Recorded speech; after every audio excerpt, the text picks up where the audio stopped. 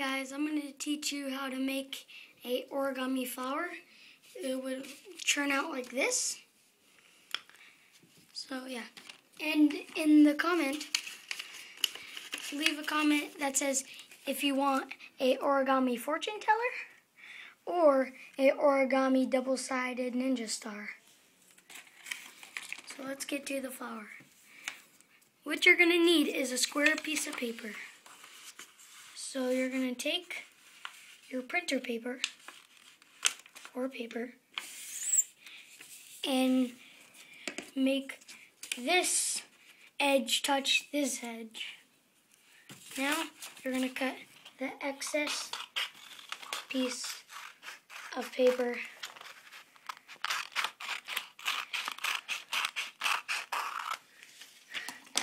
Then you're going to open it. You're going to see how you had a full line right there. You're going to need one going right through there. So you're going to fold through there like that. And you have a X. So you're going to take this corner and fold it into the middle. And you're going to take this corner and fold it into the middle too. You're going to do that for all of the corners.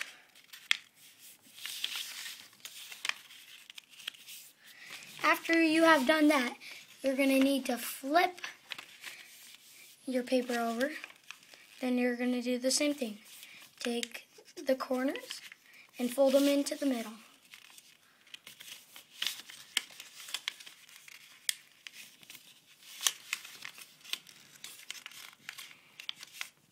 Once you have that done, you're going to flip the paper over, then do the same thing just one last time.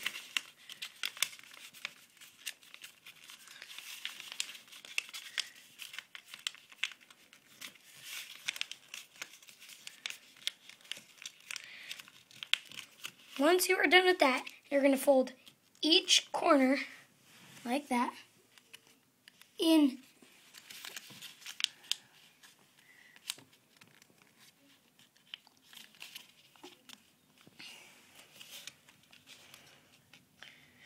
Once you are done with that, you're going to flip the paper over in this corner right here.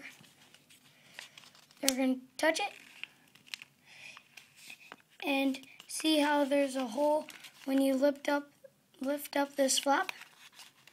Well, not a hole, like a little pocket. You're going to push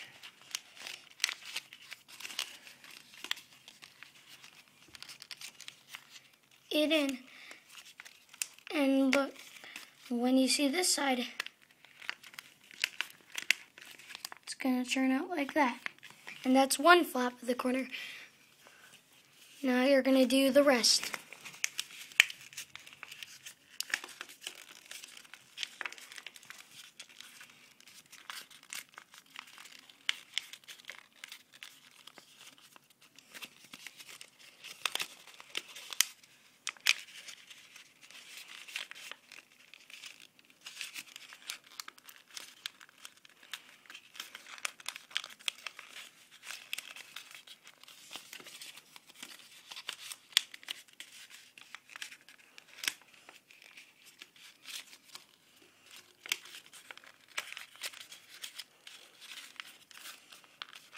And once you're done, you'll have an origami flower.